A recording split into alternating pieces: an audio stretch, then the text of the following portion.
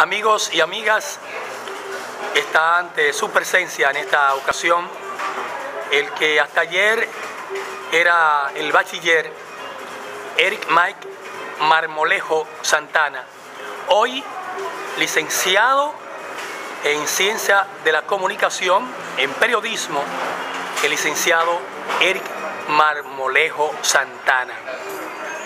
Y nos gustaría que él nos diga en este día memorable qué ha significado para él llegar hasta aquí, el investirse en esta alta casa de estudio, la Universidad Autónoma de Santo Domingo, como periodista profesional. ¿Cómo te sientes? ¿Qué sientes en esta ocasión? Bueno, primeramente, primeramente gracias a Dios por haberme permitido poder llegar hasta esta meta seguir hacia adelante porque esto es parte del éxito que Dios tiene para cada aquella persona que son fieles a su palabra, fieles a Él. Bastante alegre me siento por haber logrado pues esta parte, este episodio de mi vida.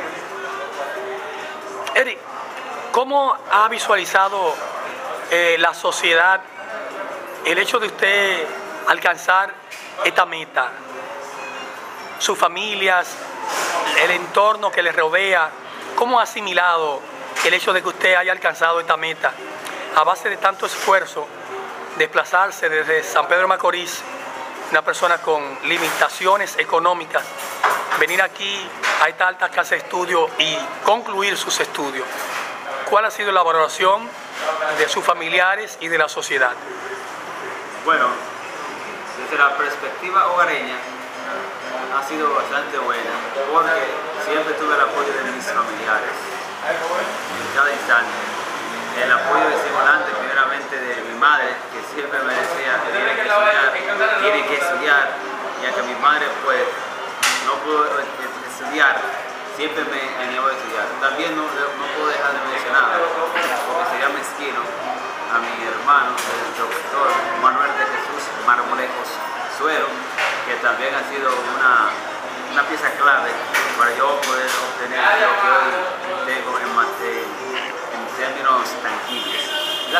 también me ha ayudado bastante, porque cuando la sociedad de manera pues significativa te da un estímulo, te dice que tú puedes y que puedes seguir logrando a pesar de las adversidades, los problemas que se pueden presentar en el diario vivir, pues la sociedad pues también me ha ayudado en ese sentido.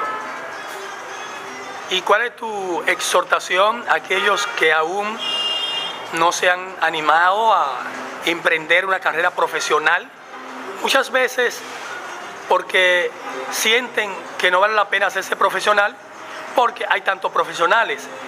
¿Qué tú dices cuando alguien trata de desestimar tu esfuerzo con una de estas expresiones tan comunes? Bueno, hay que entender lo siguiente. Partiendo de quien, partiendo de quien exprese esa posición, entonces usted puede hacer un juicio de valor. Porque si es cierto que hoy en día en la sociedad hay muchos profesionales egresados de las distintas carreras que se imparten en las academias universitarias, no es menos cierto que la secundaria y la primaria también habría que cerrar entonces las escuelas primarias y secundarias si nos llevamos del rumor o de quizá una pobre realidad de que los profesionales aún después de haber terminado no saben hacia dónde van para estudiar. No, pienso que tenemos que sopesar bien la situación. Nuestra sociedad está en pañales, le falta mucha, mucha, mucha tela por donde cortar. No obstante, nosotros, los futuros jóvenes, futuros profesionales, es que debemos aunar esfuerzos con mancomunadamente para que así la sociedad siga en, sendero luminoso. Bueno, esperamos que en verdad la sociedad y lo que concierne a los medios de comunicación sepan valorar a este nuevo profesional que se ha de, se ha de insertar en el mercado laboral de la República Dominicana, hoy que tanto lo requiere. Esta es la primera parte de esta entrevista. Continuamos con el gran amigo Eric Marmolejo, licenciado en Comunicación Social, quien en este día, jueves 28 de octubre, se inviste como licenciado en Ciencias Sociales. Eric, los, medios, los medios de comunicación eh, muchas veces desconocen eh, a los profesionales que terminan una carrera universitaria y prefieren utilizar dentro de su personal a personas improvisadas porque le es menos costoso o más barato. ¿Usted cree que el mercado laboral de la República Dominicana se encuentra en la capacidad de albergar en sus senos a esta gama, a esta gran cantidad de, joven, de jóvenes profesionales que van a iniciar una carrera ya de manera laboral? Bueno, en primer lugar, tenemos que entender que la sociedad nuestra, la adolece de lo que es institucionalidad con relación a lo que es el amparo a los profesionales.